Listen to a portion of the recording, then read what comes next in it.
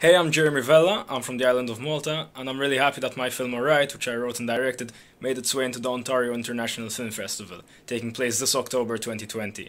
The crew and I are really proud, and we're looking forward to hearing from you soon.